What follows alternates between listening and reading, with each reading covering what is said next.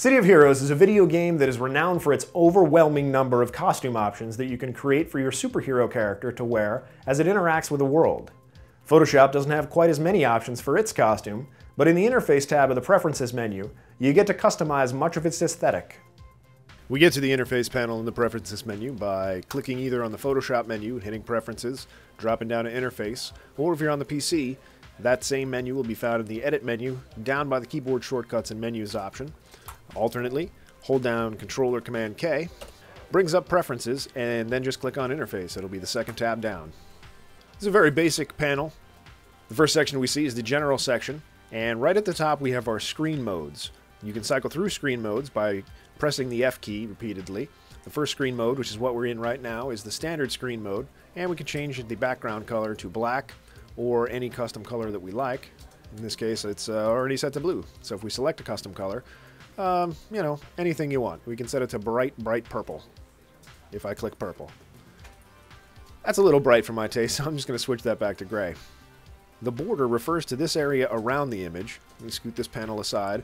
Right now you can see there's a little bit of a drop shadow here, and if we switch that in the drop-down menu, we can either switch that to a line or no border at all. And again, you see the changes reflected immediately in your work area. So I'm going to keep that a drop shadow. Now, the same thing happens when you press F the first time and it switches to full screen with menus. Uh, this we're not going to see reflected immediately because we're not in this screen mode, but you get the same options for that. And then full screen mode uh, usually just leaves your image in the center with a solid black background and no tools. Again, you don't need a border necessarily. If you have it solid black, you don't necessarily need a border because it's not going to show up anyway, but you still have those border options. The next item up on the Preferences menu, let's move this aside. Take a look down here at the bottom right. I have the Channels panel open, and Show Channels in Color, if we check that box, that shows the red channel thumbnail is red, the green channel thumbnail is green, and the blue one is blue. So that's all that does. Uh, again, this is all a preference thing. It doesn't affect performance at all. Show menu colors is a pretty important one if you're setting up your menus for optimization. For instance, in a previous tutorial, uh, let me click OK. In a previous tutorial, on my select menu, I put color range in red, and that's because I use it often, I don't have it bound to a key, and uh, when I click on the select menu, I can find it real easily. I just look straight down, it's highlighted red, and I can click on it. Saves me some time. Unless we have that option checked on, we are not going to see we're not going to see any background color in our menus. Back in the interface section, I'm going to leave that one on like I said. Show tooltips. This yellow area right here that says determines whether to show tooltips for controls and tools is referred to as a tooltip. If we click that off, it turns off. And now if we hover over something, no tooltip. Adobe's gone out of their way to provide you with tooltips for just about every item on their entire menu and in their interface at all. So I would recommend that you leave Show Tooltips set to on because every now and again you're going to come across a tool and if you don't know how to use it, this little bit of text is going to pop up and that'll give you a hint on what its use is. Enable gestures is basically only used by Macintoshes that have multi-touch trackpads. It doesn't really matter if I have this on because I don't have any gesture capability. For me, typically I just shut this off because I don't use gestures. So that takes care of the general part.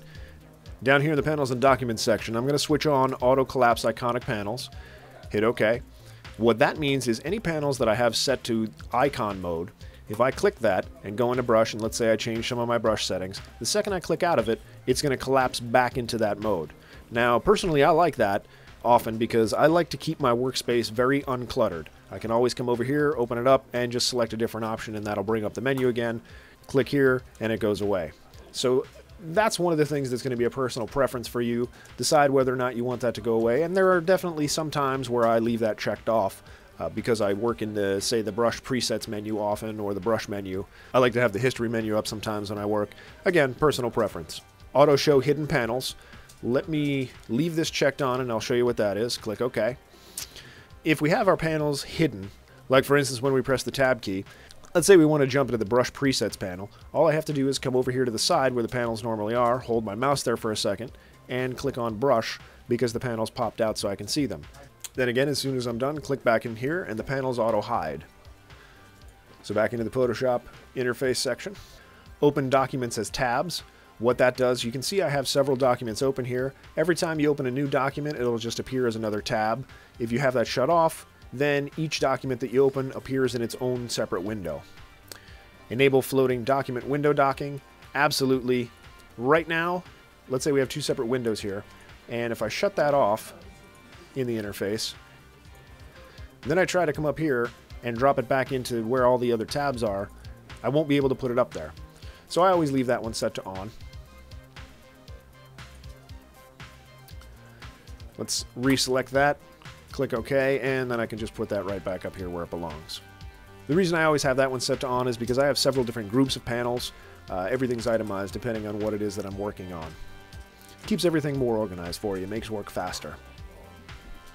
Restore default workspaces. If at any time you move around all the panels and everything in the Essentials, Design, Painting, Photography, New in CS5, or any of the other workspaces that you create yourself, all you have to do to reset every single one of them is back in the interface where we just saw, click on Restore Default Workspaces. A Photoshop dialog will pop up. Click OK. You can even select Don't Show Again because you're always pretty much going to click OK. The last section is the user interface text options. Here all I have installed is the English text, so that's the only option I have, but if you have a multilingual copy of Photoshop, you can select between the different languages here, and then as you can see, next time you restart Photoshop, it'll switch to the appropriate language, and the same thing goes for the font size. Uh, I typically like to have everything nice and small. I have good eyes, large monitor, so I don't need to worry about that, but as I get older, I'm probably going to drop this down to the large and wear really big glasses.